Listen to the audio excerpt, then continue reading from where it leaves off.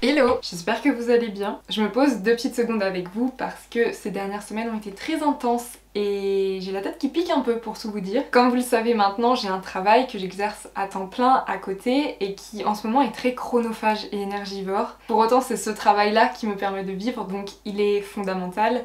Vous connaissez le fonctionnement de la vie, donc jusqu'ici je ne vous apprends rien. Le truc c'est que évidemment j'ai à cœur de continuer avec le même investissement, la même intensité dans mes projets et forcément il faut encore que je trouve mon organisation entre les deux on va dire. Mais en tout cas ce qui est certain c'est que c'est vraiment ce que je préfère sur cette planète que de revenir ici, de me poser sur vos commandes, sur euh, des nouvelles pièces, de nouveaux concepts ou même sur un prochain studio vlog. J'ignore comment l'expliquer mais je trouve mon équilibre dans tout ça et je sais que c'est déjà énorme. Aussi j'en profite pour vous envoyer tout mon soutien et toute ma force dans vos aventures, qu'elles soient pro ou perso, parce que je sais que parmi vous il y a énormément de personnes talentueuses qui s'investissent avec passion dans des projets. Et en grandissant je me rends compte ô combien c'est rare de rencontrer des personnes qui sont véritablement animés par une pratique, un savoir-faire ou une discipline. Et donc quand c'est le cas, je trouve ça sincèrement très beau. À part ça, je suis quand même contente parce que j'ai enfin pris en photo des pièces qui attendaient depuis beaucoup beaucoup trop longtemps. D'ailleurs, je vous les ai jamais montrées par ici. Donc je vous présente les vagabonds.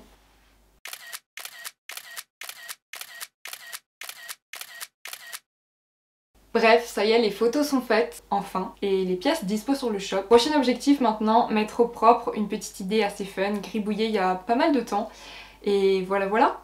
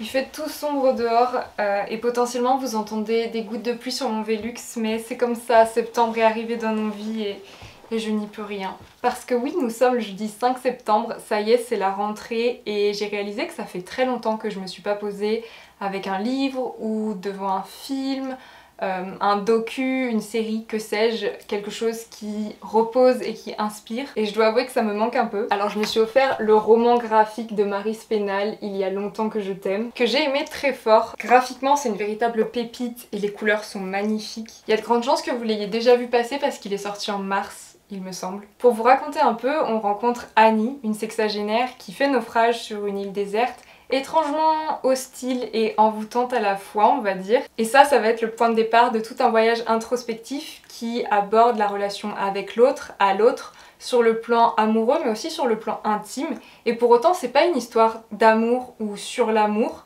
c'est ce qui m'a plu d'ailleurs. Et surtout, à la fin de ma lecture, j'étais dans un sentiment très particulier entre touché et troublé. Et je suis tout simplement ravie d'avoir découvert cette œuvre, donc je voulais la partager avec vous.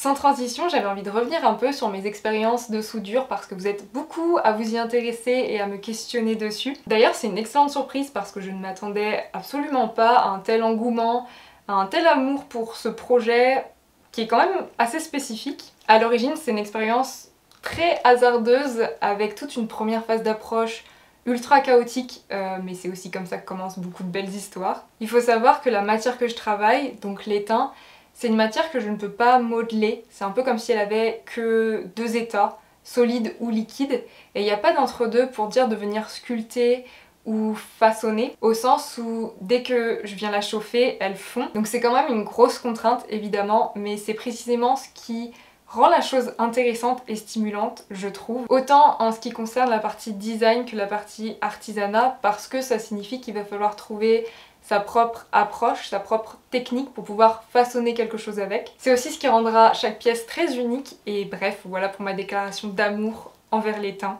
En tout cas, je vous remercie énormément pour vos retours, que ce soit sur YouTube ou sur Instagram quand je drop des work in progress en story parce que c'est super encourageant, ça fait tellement plaisir de partager avec vous, de discuter avec vous. Donc merci beaucoup. Merci à vous de m'avoir accompagné tout au long de ce studio vlog. On se dit à très bientôt. Prenez soin de vous. Bisous Ciao